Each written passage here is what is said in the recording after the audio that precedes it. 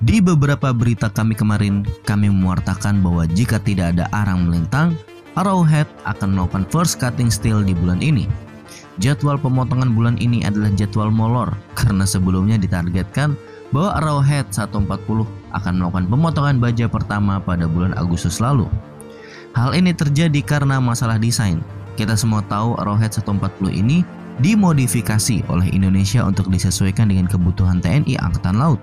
Ini tergolong sulit karena Polandia sendiri juga mengakuisisi Arrowhead, memilih desain awal dan tidak berani melakukan modifikasi. Tentu saja langkah berani ini mendatangkan konsekuensi, apalagi ini adalah pertama kalinya PT PAL melakukan hal yang demikian. Walaupun sudah didampingi oleh perusahaan asal Jerman dan Turki untuk menentukan desain modifikasi, tetap saja ini tidak menjamin kualitas Arrowhead akan jadi lebih baik. Jadi ini semua masih abu-abu ya kan sampai kapal nanti benar-benar jadi dan siap buat dioperasikan. Nah, kabar kurang mengenakan sepertinya harus kita dengar kali ini. Kami melansir cuitan Twitter dari Alman Helfas. Diketahui bahwa saat ini ada dua kegiatan kritis terkait pembangunan Arrowhead 140 di Indonesia belum dilakukan.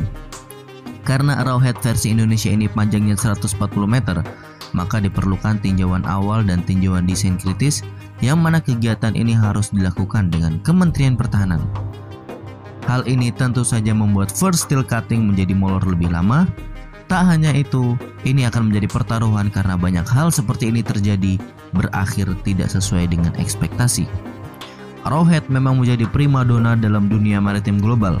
Royal Navy akan menjadikan Arrowhead frigate masa depannya. Babcock yang mengambil alih produksi Iver dari Odense Maritime memang membuat Arrowhead ini jauh lebih canggih. Dengan sumber daya manusia yang dimiliki Babcock, mereka menempatkan elektronika yang lebih kompleks dan canggih. Sensor, sonar, dan radar dibuat lebih sensitif untuk mendeteksi ancaman. Mundurnya jadwal pemotongan memang harus menjadi concern tersendiri. Ya karena awalnya kita butuh lima tahun untuk bangun Arrowhead bisa-bisa jadi 50 tahun nanti ya kan kalau nggak ada yang perhatikan. Dari segi persenjataan, Arrowhead 140 dapat disematkan senapan dengan kaliber mulai dari ukuran 40 mm hingga senapan berukuran besar 127 mm.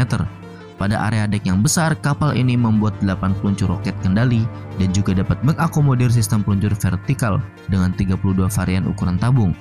Kapal ini juga memiliki peluncur rudal serang permukaan ke udara, rudal serang darat, rudal anti kapal selam, dan sistem senjata jarak dekat. Selain itu, fregat Arrowhead 140 akan dilengkapi oleh sistem informasi taktikal dan komando Thales atau Taktikos, sebuah sistem peperangan yang meningkatkan kemampuan tempur kapal. Sistem tersebut meliputi sejumlah sensor termasuk navigasi radar jarak dekat dan menengah, kontrol api, kontrol helikopter, dan pengawasan situasional pada kru kapal. Nah, bagaimana menurut kalian mengenai berita ini? Silahkan komentar kalian di bawah.